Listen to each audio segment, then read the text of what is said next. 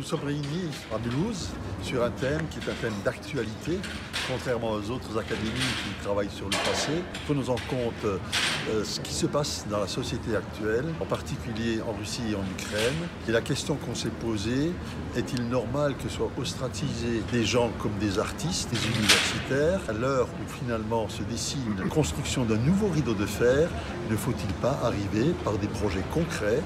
à développer des ponts et à développer des idées qui permettraient plutôt de rassembler les gens que de les séparer. Euh, je suis entièrement d'accord et je dirais même plus, c'est qu'on sait déjà tous que cette guerre va se terminer par la paix qu'elle a besoin d'outils de compréhension, d'assimilation des problèmes de part et d'autre. Je pense qu'il est de notre devoir de travailler actuellement sur des outils, notamment via l'art, pour parler demain tous ensemble. Je rajouterais que de comprendre un peu plus ce qui se passe aujourd'hui, une soirée à la librairie le 22 avril, nous inviterons